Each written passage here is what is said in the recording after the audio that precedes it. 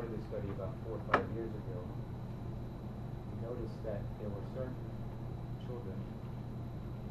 Our study, we take a small piece of diaphragm at the time of the repair. Diaphragm is literally one millimeter by one millimeter. It's not, it will not affect the repair at all. And we take a small piece of skin from the incision before we it, also about one millimeter, millimeter by one millimeter, and then we take blood, and we take blood from the parents.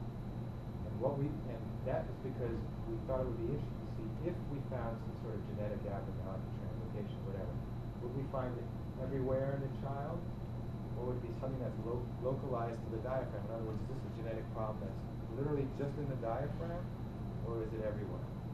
And what we found, without getting too detailed, was that a couple of the kids who had very severe CDH, didn't do well, all that, had the abnormality on all three tissues, blood, skin, and diaphragm. Some of the kids who had the abnormality that localized just to the diaphragm seemed to do better. That was sort of the impetus was that we think that it's not just an issue of, of a genetic abnormality, which genetic abnormality, but it also might be an issue of how prevalent that genetic abnormality is, how strong it is in the baby themselves. In other words, if it's localized to a tissue that's just normal, and something happens in the diaphragm itself, it might be something that the that's, that's relevant to the things that we would in the newborn period, because we need to do the surgery to, uh, we don't, we don't, we won't take your child and then we operate on them, obviously. It's at the time of operation, we take a piece of diaphragm and skin just to see, and then to see if those things are present or not. So that's, that's a little bit different about our study. And what, when Wendy and I first decided that we were going to apply to the National Institute of Health for funding, was, that was sort of what triggered is that we found this in just a couple of patients, it wasn't a very widespread thing, but those couple of patients were very interested to see that it's something that might be, that's just an abnormality, of the way the abnormalities are being expressed in children. So that's why, that's, that's one of the major things in the neonatal patients of this. That's something that can be found if they have to have another surgery, um, then, but my son does years. If you would have to have another repair, would they take a piece of Yes. skin off of that? Yeah, yeah. Yep, Something I've, like I've that, actually. where If you go back in, if there's a recurrence or whatever there is, um, yep. that. Or, or not that I want it to happen, No, but. no, no, it it's doesn't happen. A couple of the um, children that we have were, well, we tissue. Usually the children group, the group that's older, we only have one, a couple of them have that. Maybe because we can get it from the blood, we can go back to the recurrence. But we don't. Right. We don't. The other thing that's valuable is that they're not, even if it's not a recurrence of CDH, but something that they're having a surgery for another issue, um, the skin sample at the site of the incision, again, it's that small one millimeter by one millimeter, it's also going to be collected. Again, our surgeons will work with your surgeons, so they're completely comfortable with doing this small collection, provide them with all the materials necessary, and we'll do it. Pretty good for discovery. And, and, uh, you know, a lot of these are being done, called thoracoscopically now, where they just put in a little, and that, you can still do everything, to take the tissue, you just, you just take a piece of skin from a small incision, so that doesn't affect whether or not we can use it. Um, you do everything primarily with genetics, right?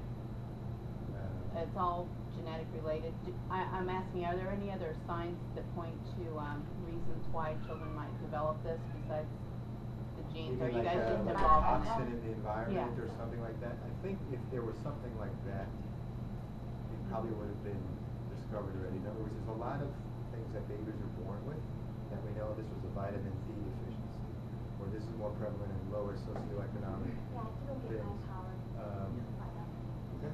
Um, the other thing is it's not localized. We see it all across the world, which doesn't suggest it's one particular exposure. But to answer your question, just like any epidemiological study, when in part of our interview we're asking families, you know, what was your job during that time? We actually ask about family income because we know that there are certain birth defects that are related to socioeconomic status. Not for completely reasons that we understand, but we know are more common within different populations of what's your ethnicity, um, as well as, you know, did you work during your pregnancy? Were there exposures that you were concerned about? But to date, we don't know anything. One of the things that's hard about exposures and medication is that there's no way to do controlled studies of that. Meaning that I can't tell this group of pregnant women to go expose themselves to something and this group not to. And so I think it's, you know. But you, if, something, probably if something strike, you know, if there was a strong association, CDH has been described and written about for 30, 40 years, probably something would have come out. I'll give you an example, there's something called an abnormality the abdominal wall forms. And we know that that's associated with lower socioeconomic status, single, single parent pregnancy, women under the age of twenty. We don't know why that is, maybe it's a nutrition thing, we don't know what that is, but we know that there's an association. Or, um, we know myelomeningocele has to do with vitamin D. So there, there, odds are if there was something very striking like that, we would know it already, and we don't. Nobody's, the only thing we can find is that there are some families where they have what's called consanguineous families, where there's a lot of intermarriage, cousins, first cousins marrying and stuff like that. Those seem to be the only, the only group of patients that have a lot of genetically related CDH. But the average person, CDH is what we call a very sporadic thing, in other words. You can do a very exhaustive history on the both parents and there's no hint, not more common in Ashkenazi Jews like cystic fibrosis, it's not like Tay-Sachs, it's not more common in African Americans or Asians or this or that. It doesn't seem to be, doesn't seem to have any association like that. That, that, that makes it very hard, because if we did have association, we would limit our, well, we wouldn't limit, but we would really hone in and focus our study on that group. We did, um, somewhat study within our charity. The last time that we pulled out a report was two thousand, and I think we had 300, 400 families, where they gave us every detail of their pregnancy. It was twenty page surveys, um, it was all voluntary, and we found nothing.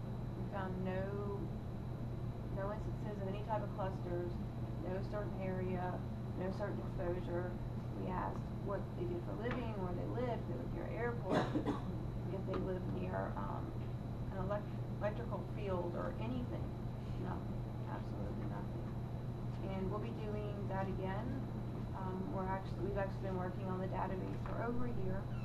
And when that goes live, and I'm not even gonna give a date anymore because it's taken us forever to get this thing up, then everyone will be able to put in your entire family medical history and it will tabulate results on the fly. And we're gonna, we're trying very, very hard to get all thirty-two hundred families to put in your information. But so far, we haven't found any type of exposure. So, hopefully one of these wonderful researchers will find a gene. Unfortunately, my computer doesn't work. Gene, I have to change my encryption system for ETH. Probably.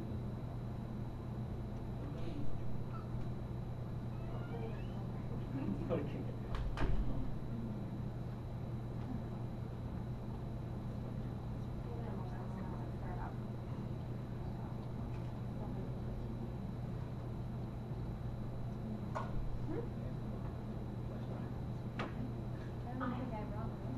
It's so full, but we will dump it out.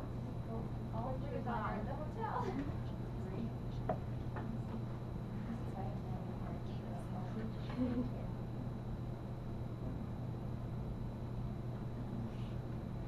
Yeah, that might be the fastest we do it, yeah. I love that. Oh, wait, wait, wait, no, no. Hey.